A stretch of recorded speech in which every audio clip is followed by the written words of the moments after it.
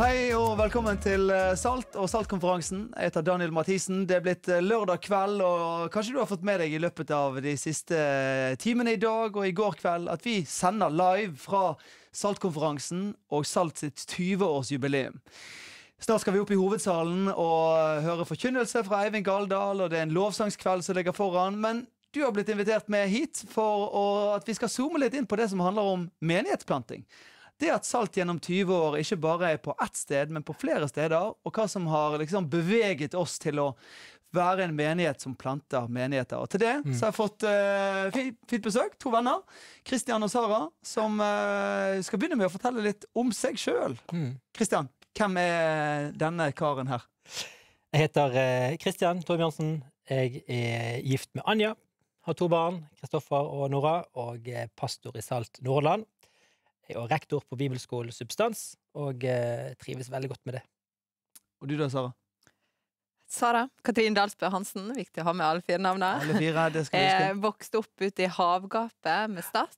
Mm. Så vokste opp på en gård der. Alltid vært glad i gårdslivet. Så flyttet jeg til Bergen for å studere. Tok en lærerutdanning der. Og fikk gleden av å være en del av Salt i åtte år mens jeg studerte der. Eh, Så tok jeg etter hvert òg en eh, master i praktisk teologi, og nå eh, bor jeg på Voss sammen med min mann Vegard og våre tre barn. Veldig fint.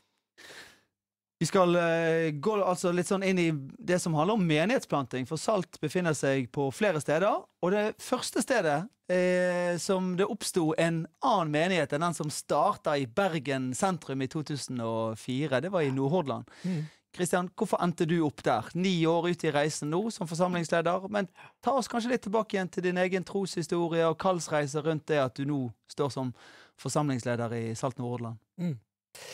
Du, jeg eh, har vokst opp i et hjem hvor jeg gikk på søndagsskole og lærte Jesus å kjenne gjennom det. Og, eh, men når jeg først var 16 år, rundt der, så fikk jeg virkelig møte med Jesus som forvandlet mitt liv, og som gjorde at jeg både fikk øynene opp for hvem han var, men òg den lokale menigheten. Ble koblet på Pinsekirken Tabernakle den gang, husker jeg, og eh, fikk eh, møte Øystein, som kom tilbake fra teologistudier. Fikk tidlig tillit, være med i tenåringsarbeid og lede det, og det gjorde at det ble naturlig for meg òg å være med når Salt startet i 2004 på den eh, reisen. Så har jo vi jobbet med ungdommer, jeg har gjort, i hvert fall gjort det store deler av mitt liv, og vi jobbet med studentnettverk og med ungdomsarbeid, og husker jeg hadde en, en skitur med Øystein en dag, en topptur, der liksom samtalen var hva skjer videre, Kristian, på reisen nå? Skal du starte et ungdomsarbeid, eller skal vi tenke enda lenger, enda større? Endte med at, eh, at vi flyttet til Nordhordland for å plante forsamling der ute. Jeg hadde jo vokst opp der store deler av mitt eh, liv, og eh, med et barn da så fikk jeg plutselig øynene opp for den regionen, og at det trengtes menigheter som nådde nye mennesker der ute, og det endte med at vi da startet. Mm. Nå, den forsamlingen i dag, hvis du skal ta et lite sånn snapshot av Salt Nord-Hordaland anno 2024. Ja, nå er vi en forsamling som har gudstjenesteliv, eh, gjerne rundt 150 i, eh, i kjernen eller i gruppen, eh, og masse barn. Halvparten av de som kommer til gudstjeneste i Salt Nordland, er barn. Og det er jo et fantastisk privilegium. Så vi trives på Frekkhøy for tiden. Der har vi gudstjenestene, og eh, drømmer om å se enda flere komme til tro i Nordhordlandsregionen. Sara, jente fra Stadlandet, eh, gutt fra Hålandsdalen, eh, er lik Voss. Fortell litt om din egen reise da, rundt det at eh, Salt Voss er blitt både Voss er blitt deres heim, og Salt er en menighet som ble planta der oppe. Mm. Ja, hva skjedde der? Hva det skjedde kan, kan du godt si. Jeg har jo siden jeg var seks år gammel visst i hermetegn Mm. at jeg skulle flytte tilbake til Stad og bli bonde. Det var det store, den store drømmen. Eh, og så har jeg fått lov å vokse opp i menighet, og kanskje spesielt gjennom ungdomstida så vokste det fram et veldig hjerte for menighet og, og hva det betyr. Så det har jeg hatt med meg, men, men det var liksom Stad og bondelivet som, som var den store drømmen. Så eh, traff jeg Vegard, mannen min når, vi studerte, eller når jeg studerte i Bergen, og da kom han fra Lillehammer. Han hadde hatt den store drømmen om å bli verdens beste skiskytter, Ja. og gjorde det ganske bra der. Men så måtte han av eh, skade så måtte han legge den drømmen på hylla. Kom til Bergen, så da var han klar for å følge min drøm. det var jo Så jeg. praktisk. Det er jeg veldig glad for. Tidenes så- uh, pickup line. Jeg er Yes. klar for å følge din drøm. Ja, og det sa han ja til. Så når vi gifta oss i 2014, så hadde vi, var retninga vi hadde på livet, det var å flytte til Stad og, og bli bønder der. Mm. En måned etter at vi hadde gifta oss, så inviterte Øystein Gjerme eh, Vegard med til Voss. Tok han med på en fjelltur. Tok han med på skitur. Fellesnevnere i- Ja. merker- merkes her. Dette må vi spørre Øystein mer om. Ja. Altså, han kjenner sine, så han tok med Vegard på skitur opp på en av toppene. Ser for meg det så, så ut å være Voss der. Mm. Og så stiller han spørsmålet hva, hva tenker du og Sara om å flytte til den bygda her for å være med og replante en eldre pinsemenighet? Det var det en eldre menighet der som hadde bedt om hjelp, som har hatt det vanskelig de siste åra. Og så eh, tror jeg Vegard svarte ganske forsiktig, for han visste Jeg må bare snakke med Sara først, for han visste hva som var, Mm. var den tydelige retninga. Men jeg husker veldig godt den samtalen vi hadde den kvelden når han kom tilbake og spurte du, hva tenker vi egentlig. Og eh, vi brukte noen få minutter, tror jeg, på å lande Oi. der at eh, vet du hva, det er jo dette vi skal gjøre. For det var akkurat som det spørsmålet traff en nerve i oss begge to, som var Mm. blitt forberedt i, i forkant. Der vi, vi hadde fått lov å være en del av Salt i Bergen begge to, og opplevd den utrolige rikdommen det å ha et eh, sunt og godt eh, fellesskap, å være, kristen fellesskap å være en del av, og hvor viktig det er for hverdagen. Og da kjente vi på at når det spørsmålet kom, hvis vi kan få lov å flytte til en ny plass, og være med og gi det videre til nye mennesker, så fant vi egentlig ingen gode grunner til å si nei. Det Så ble da, sånn eh, eh, Too good to say no. Da flytta vi Ja. til Voss i 2015. Ja, men Nydelig. Mm. Skal, jeg skal spørre dere litt eh, om læringer og, og høydepunkter underveis. Men en liten sånn timeout. Menighetsplanting, kanskje det er ikke det du eh, vet mest om, eller eh, til og med ikke forstår helt greien med. Skal vi Mm. ta en liten sånn fot i bakken rundt det? Hvorfor er menighetsplanting, eller det å starte nye menigheter, en viktig ting og en bra ting? Eh, hva vet vi fra egne erfaringer og andres erfaringer om menighetsplanting? Kristian? Nei, det er jo eh, sånn sett utvetydig i alle undersøkelser både i Norge og for så vidt òg internasjonalt, at eh, det å plante nye menigheter er den mest effektive måten å nå nye mennesker med evangeliet om Jesus. På en måte er det ganske logisk at når man flytter eh, livene sine til et sted og planter evangeliet der, så Mm. vil flere mennesker få lov til å ta del i det. Sara, hva mener du er gode grunner for å være positiv til menighetsplanting i landet vårt? Tenk jeg det, det, viser, det er noe med dynamikken i en nyplanta menighet som er Mm. litt mer eh, Du har, du har mer krefter utover, Mm. og du er litt mer eh, på. Og det er jo vår erfaring òg når vi kom til Voss. Så visste jo vi som sto der at skal, skal dette bli en menighet, så må vi snakke med folka Mm. som er i nabolaget vårt, og som vi er kollegaene våre. Og, ja, så det er noe med, med innstillinga og driven Mm. i det som er, er nytt og nyplanta. Bare for, som en sånn gøy eh, observasjon som ble gjort når det gjo- gjordes undersøkelser i Norge, var jo at man oppdaget at de etablerte menighetene òg vokste når det kom nyplantinger til det stedet. Ja. Det var med på å skape en type sunn sånn Oi, heiene, nå begynner det å skje ting.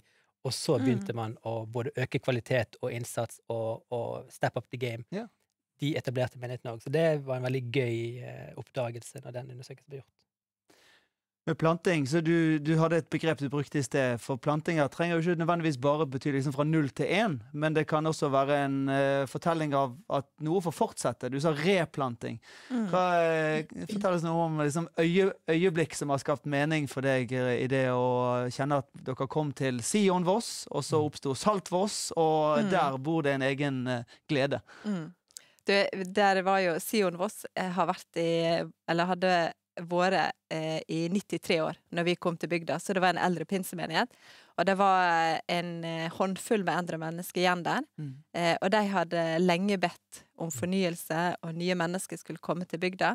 Eh, og så fikk vi lov å komme inn, og så replante, som vi sier, eller starte på nytt den Mm. menigheten som allerede var der. Og hvis jeg skal trekke fram et stort øyeblikk som, som jeg kjenner på i den eh, sånn, ti år lange reisen vi har vært på, så er det når vi i fjor fikk lov å markere 100 år for den menigheten. Der vi ikke klippet noen snor, men Mm. vi knyttet sammen 93 år med Sion Voss og sju år med Salt Voss, og kjente at uh, dette er jo en feiring av Guds trufasthet gjennom en, en lang tid. Og det òg for oss å, å komme som nye og få lov å oppleve at de som ba disse bønnene, Mm. fortsatt er en del av fellesskapet Ja. i dag. Mm. Eh, det er utrolig stort. Mm. Å få lov å se seg sjøl som en eh, del av en så stor fortelling. Det har vært helt nydelig. Kristian, eh, du er jo sånn eh, alltid opptatt av å lære og utvikle og gjøre ting bedre. Hvem vet eh, om dette spørsmålet er litt sånn ledende? Hvis du skal plante menighet en gang til, eller Ja. hvis du skulle gjort det en gang til, Mm. del en tanke du har om hva du ville gjort annerledes eh, hvis du skulle gjort det om igjen, eller hvis du skal gjøre det en gang til i Tyskland. Vi fikk jo gleden av å være være førstereis, og jeg har noen ganger sagt at vi har hatt alle barnesykdommene, vi har gjort alle feilene, og så rapporterer vi bak i rekkene eh, do's and don'ts. Eh, men, men hvis jeg skal tenke tilbake, så ville jeg kanskje sagt at det å ha hakket bedre tid før man går til faste gudstjenester, ville jeg nok gjort annerledes. Du vet, modellmakten som vi har sett i gudstjenesteliv, og en menighet er gudstjenester, og de samlingspunktene er ganske sterk. Men det å ha nok tid til å jobbe med å få et hjerte for stedet, bli glad i området, plante seg på det stedet, eh, være engasjert og virkelig drømme òg om de menneskene som, som man kan bety en forskjell for. Det å Mm. få den kulturen sterkt i den første gruppen, det er kanskje noe jeg ville brukt mer tid på hvis jeg skulle gjort det en gang til. Så egentlig puttet det der med søndagen og gudstjenestegreiene litt på, på vent, eller dyttet det litt fram i tid, og bare hatt tid til å leve i hverdagslivet der, og be for plassen og møte folk og Altså det er jo En av de store privilegiene når man starter nye forsamlinger, er jo nettopp det at det, finnes jo masse rom for kreativitet og for Mm. ulike måter å gjøre ting på. Et rom som er veldig stort i starten, men i det øyeblikket man da har begynt å ha offentlige gudstjenester, man har gjerne søndagsskole for barna, man er kommet inn i en rytme, da har man startet på den reisen, og da er det litt vanskelig å plutselig eh, kjøre en timeout eller Mm. finne på andre ting. Selv om jeg tror jo på det, det er jo kjempebra. Men noe med at det finnes et mulighetsrom der i starten Ja. som jeg tenker ville vært eh, bra å bruke mer tid på.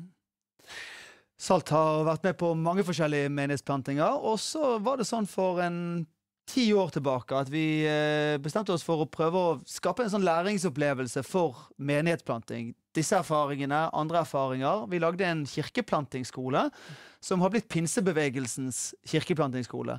Og den starter nå i september. Par og 20 stykker som har eh, blitt med på det årskurset som gjennom ukentlige moduler, døgnsamlinger, lesing, praksis, mentorsamtaler eh, går løs på utfordringen av å tenke hvis jeg skulle plante en menighet på et nytt sted, hva kloke tanker må jeg tenke, hvilke ting må jeg være forberedt på, hva betyr det for meg og min familie, hva må vi jobbe for å forberede. Så det er, Du er jo med å undervise der, Sara er med å undervise der. Og det har vært så kjekt for oss som menighet å si at det vi har lært, kan vi få legge midt på bordet og samtale med nye mennesker som har en bønn og en drøm om at menighetsplanting skal skje også i årene som kommer.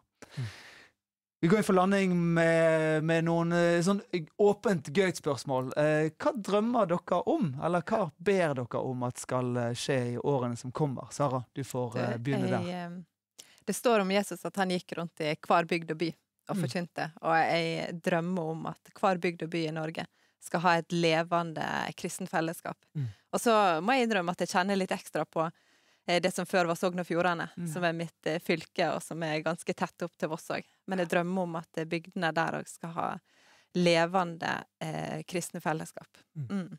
Og her på salgkonferansen så eh, sa vi litt om det tidligere i dag, at Sogndal faktisk er et Mm. sted vi har liksom satt, satt navn på. Si litt grann mer om det. Eh, Vi kjenner at eh, vi ønsker som menighet òg Salt Voss, og ikke være oss sjøl nok, men, eh, men begynne å, å tørre å tenke høyt. Hvordan ser det ut for oss å være med og bety, eller å hjelpe til, til at det òg kan være en, ei kirke som, eh, som kan vokse fram og etablere seg i Sogndal. Så det, er, det sikter vi på. Ja. Mm. Kristian, du da? Spennende.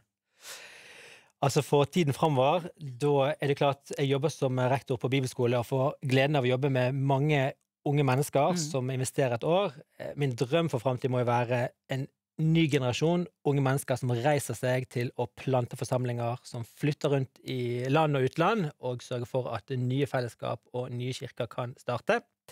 Eh, en gjeng som virkelig tar evangeliet til nye steder, og kanskje også, ikke minst at vi får en type forståelse av at eh, vi er alle med på dette. Mm. Alle generasjoner kan være med å hjelpe, be, heie, fasilitere, legge til rette, dele erfaringer. Eh, Det finnes så mye bra synergier når man eh, bestemmer seg, men det er jo ingen tvil om at det finnes mer på batteriene når man er yngre. Eh, og det å få en ny generasjon som, som når ut med evangeliet, det er drømmen min, altså. For årene som kommer. Tusen takk, begge to. Vi skal være med på Saltkonferansen. Det er lørdag kveld, kveldsmøte. Eivind Galdal skal forkynne, og med lovsangskveld litt seinere i kveld. Da fikk du et innblikk i noe av det som har handlet om menighetsplanting i Salt sine 20 år. Og vi eh, drømmer jo og ber jo om at ikke de 20 årene som lå bak, var fullt av menighetsplanting, men også de neste 20 årene. Og til det så er vi så glad for alle som er med og heier og ber og støtter og peker i retning av at menighetsplanting og menighetsliv, Mm. det er det vi trenger i hele landet vårt. Så bli med opp i hovedsalen på kveldsmøtet.